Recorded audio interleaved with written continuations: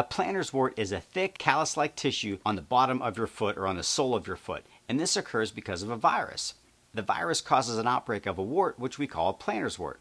These can be treated by in-office freezing or applications of acid that you can even get over the counter. In severe plantar's warts that don't go away, or when you have several of them, which we call a mosaic of plantar's warts, we sometimes have to excise these surgically.